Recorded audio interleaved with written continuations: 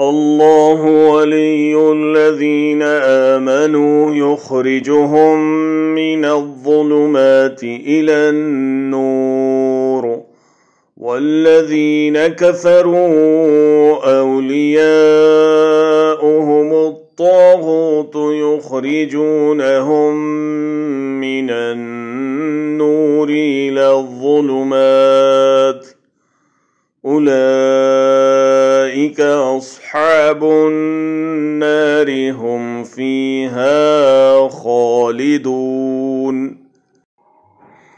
ایمان لانے والوں کا کارساز اللہ تعالی خود ہے، وہ انہیں اندھیروں سے روشنی کی طرف نکال لے جاتا ہے۔ اور کافروں کے اولیاء شیاطین ہیں، وہ انہیں روشنی سے نکال کر اندھیروں کی طرف لے جاتے ہیں۔ یہ لوگ جہنمی ہیں جو ہمیشہ اسی میں پڑے رہیں گے۔